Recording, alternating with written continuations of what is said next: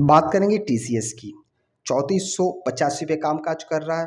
दिन की शुरुआत देखेंगे तो ठीक ठाक हुआ था। बाद में इसमें एक ढलान आया और फिर से 3480 के रेंज पे ये अटक चुका है। अब सोमवार की, मंगलवार की बात करेंगे। मंगलवार को मार्केट इसके लिए कैसा हो सकता है?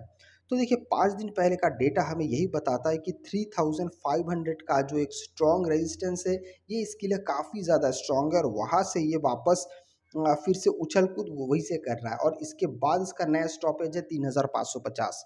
जब तक ये तीन हज़ार पाँच सौ पचास के रेंज को ब्रेकआउट नहीं देता, तब तक आपको थोड़ा वेट करना पड़ेगा इसमें मूव देखने के लिए।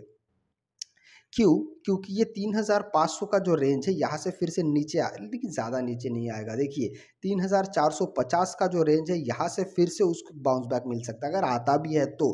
क्योंकि यहाँ से ये शानदार एक यहाँ पे ये सपोर्ट लेवल बना हुआ है। तो चिंता करने की बात नहीं है, थोड़ी दिन कंसोलिडेट करेगा, फिर आपको तीन हज़ार पाँच सौ पचास तक दोबारा दिखेगा।